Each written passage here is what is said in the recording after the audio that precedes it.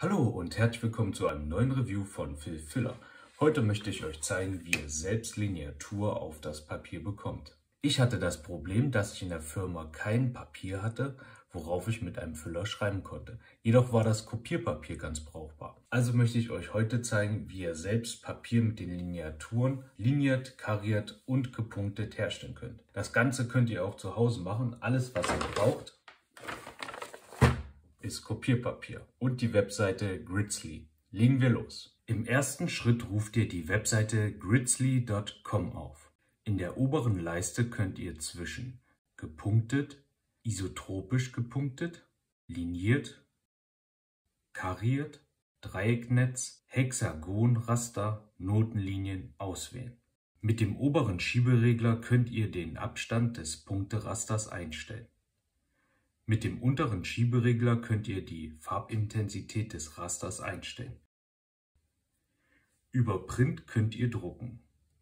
Stellt noch ein, dass in der Kopf- und Fußzeile keine Informationen gedruckt werden. Wählt die Skalierung noch ab, damit das Raster in Originalgröße gedruckt wird. Zum Schluss drückt ihr auf Drucken. So einfach kann man sich Schreibpapier selbst herstellen. Jetzt fragen sich vielleicht einige, wie sieht es denn mit den Kosten aus? Ich habe da was vorbereitet. Und zwar die Kosten des Toners betragen 3,4 Cent pro Seite. Die Kosten für das Papier, also das Kopierpapier, betragen 0,3 Cent pro Seite. Unterm Strich machen das 3,7 Cent je Seite. Das Rhodia Dot Pad, also dieses hier, da kostet eine Seite 4,4 Cent pro Seite. Ja, das klingt jetzt erstmal, ähm, ja, eigentlich ist das Drucken von dem Papier günstiger, wenn ich das jetzt bedrucke. Stromkosten habe ich jetzt mal nicht reingerechnet, weil keine Ahnung, was, ein, was eine Seite hier an Stromkosten verbraucht. Und der Drucker muss natürlich auch noch angeschafft werden. Aber da der eh hier bei mir zu Hause ist und auf Arbeit haben wir ein riesengroßes Multifunktionsgerät, da kann man halt auch äh, super mit drucken. Kommen wir nun zum Fazit.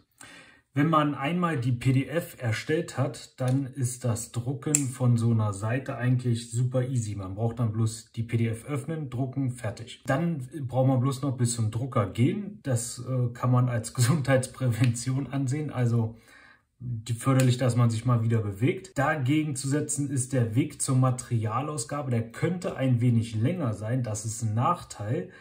Aber für 100 Blatt Papier wird sich vielleicht der Weg vom Zeitaufwand äh, eher lohnen. Das weiß man nicht. Und netter Plausch mit der Materialausgabe ist ja auch was Feines. Aber wenn die Materialausgabe nur schlechtes Papier für den Füller hat, ist das natürlich keine Option wenn das Kopierpapier besser ist für einen Füller. Von daher, ich habe mich jetzt so entschieden, dass ich das Papier aus der Materialausgabe nicht mehr nehme und deswegen greife ich jetzt dazu und drucke mir mein Papier selbst. Das ist jetzt quasi auch schon ausgerissen aus dem Block. Das ist sehr loses Papier. Dann mache ich dann hier zwei Löcher rein und dann kann ich das Blatt Papier auch gleich abheften. Ähm, also von daher wenn ich kann und wir jetzt nicht das Kopierpapier umstellen, dann würde ich jetzt das Kopierpapier weiter benutzen. Also mir gefällt das. Ich hoffe, euch hat der Tipp gefallen. Ihr könnt damit was anfangen, ist hilfreich. Wenn es euch gefallen hat, dann Daumen hoch bitte. Wenn ihr noch Fragen habt, schreibt bitte in die Kommentare. Und falls ihr mich noch nicht abonniert habt, abonniert mich bitte. Dann macht's gut und viel Spaß beim Drucken. Ciao!